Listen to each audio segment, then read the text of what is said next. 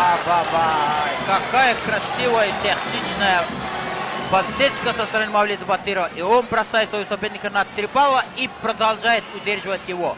Остается 8 секунд до конца схватки. Время остановилось 3-0. I have Sufyan Kabil with me. He is with the Moroccan national team, and we're going to show you some Greco techniques. We hope you enjoy them. All right, this is a variation of that front headlock where we rolled down the back and took him feet right over, over to the back. This time I'm going to put my head in the hole, and I'm going to step around his body before I take him feet over his back. So we'll demonstrate pretty slow here. Again, I'm capturing that front hand, making sure this hand doesn't get real tight and, and deep in, my, in here, so I'm keeping it shallow. I'll come to that armpit just to get a reaction, and now I'll come up to that head and pull him down to here. Now, if I feel like he's retreating away and he's got a lot of space here, this is when I can start putting my head in the hole.